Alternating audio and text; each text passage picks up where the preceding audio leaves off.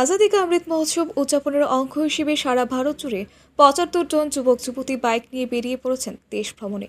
গত নয় সেপ্টেম্বর দিল্লির মেজর ধ্যানচাঁদ স্টেডিয়াম থেকে ফ্রিডম রাইডার বাইকার র্যালি নামের বাইকার গ্রুপ শুরু করেছে এই বাইক র্যালিটি ভারতের বিভিন্ন রাজ্য পরিক্রমা করে সোমবার ত্রিপুরায় উপস্থিত হয়েছেন বাইকাররা। পঁচাত্তর জন বাইকারের মধ্যে এগারো জন মহিলা বাইকারও রয়েছেন। সোমবার তেলিয়ামুড়ায় যুব কল্যাণ দপ্তর এবং পৌর পরিষদের পক্ষ থেকে রাইডারদের সংবর্ধনা দেওয়া হয়। এবং তাদের হাতে সংবর্ধনা সূচক খাদ্য সামগ্রীও আনুষঙ্গিক বেশ কিছু সামগ্রী তুলে দেওয়া হয়। এই পর্বে দপ্তরের আধিকারিক কর্মকর্তা সহ অন্যান্যদের মাঝে উপস্থিত ছিলেন তেলিয়ামুড়া পৌর পরিষদের পৌরপিতা রূপক সরকারও।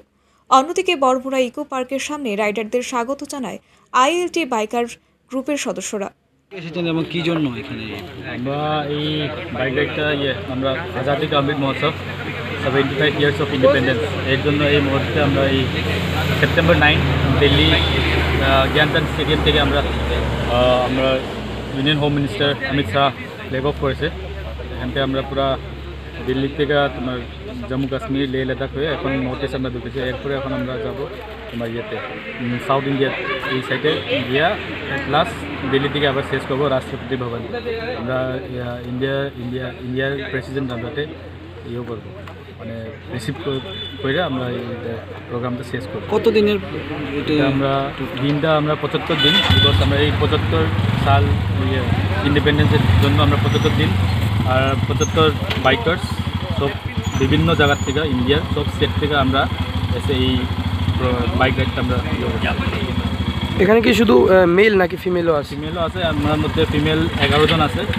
তারাও বিভিন্ন স্টেট থেকে আর আমরা নর্থ ইস্ট থেকে एक फिमेल असते त्यावेळी एक का मिजोरम आज़ादी का अमृत महोत्सव मनाया जा रहा है।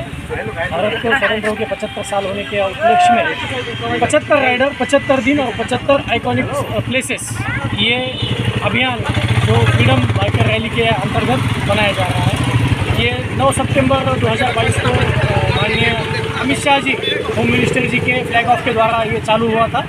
ये पूरे ऑल स्टेट्स चौंतीस स्टेट्स कवर करके फिर दिल्ली में ही 24 नवंबर को ख़त्म होगा ये कहाँ से शुरू हुआ था ये दिल्ली से दिल्ली से 9 सितंबर को शुरू हुआ था और 24 नवंबर को दिल्ली में ही खत्म होगा पूरा भारत का यात्रा करने के बाद দেশের স্বাধীনতার পঁচাত্তরতম বর্ষপূর্তি আজাদি কা অমৃত মহোৎসবের উদযাপনে পঁচাত্তর জন বাইকারদের নিয়ে পঁচাত্তর দিনের জন্য গত নয় সেপ্টেম্বর দিল্লি থেকে শুরু হয়েছিল দেশ ভ্রমণ যার সূচনা করেছিলেন দেশের স্বরাষ্ট্রমন্ত্রী অমিত শাহ এরপর থেকেই চলছে দেশ ভ্রমণ।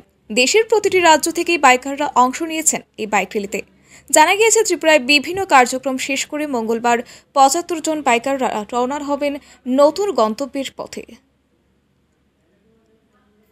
রিপোর্ট, আরই নিউজ।